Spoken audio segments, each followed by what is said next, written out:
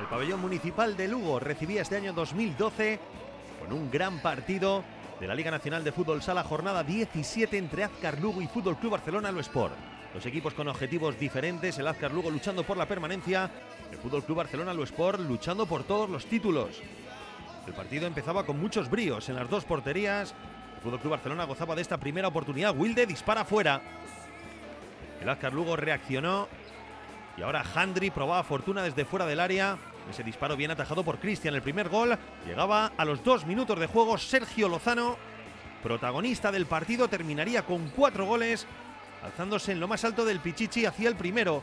Empataría el Lugo con ese disparo de Kiko dentro del área a los cinco minutos de juego. Lo celebraban con rabia los jugadores gallegos. Pero pronto Lin ponía el 1-2 a los siete minutos con ese zapatazo desde fuera del área. Diego Ríos animaba a los suyos. De nuevo el Fútbol Club Barcelona lo Sport seguía probando la portería rival y la encontraba a los 11 minutos por mediación de Wilde para poner el 1-3 en el marcador. Aún así el Azcar Lugo no se rendía, pudo acortar diferencias con esa buena jugada de Aramburu que tuvo que sacar Igor bajo palos. Pero el Barça también quería más. Disparo de Wilde que se marcha directamente fuera. El Azcar Lugo que también tenía las suyas, Kiko. Se topó de nuevo con la oposición del guardameta Cristian. Ahora el Barça sí encontró la portería rival. Sergio Lozano a los 15 minutos ponía el 1-4.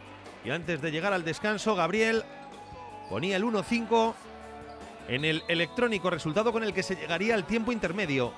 El arranque de la segunda mitad empezaría con un nuevo gol del Fútbol Club Barcelona Lo Sport. Sergio Lozano desde la frontal a los 22 minutos ponía el 1-6 y en esta jugada Ari pondría el 1-7 a los 23 minutos de juego.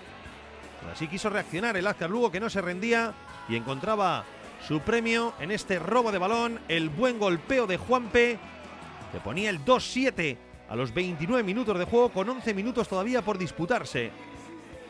El Fútbol Club Barcelona se empezaba a aprovechar del riesgo en ataque del Azcar Lugo. Ahora Wilde a los 32 minutos ponía el 2 8 en el electrónico.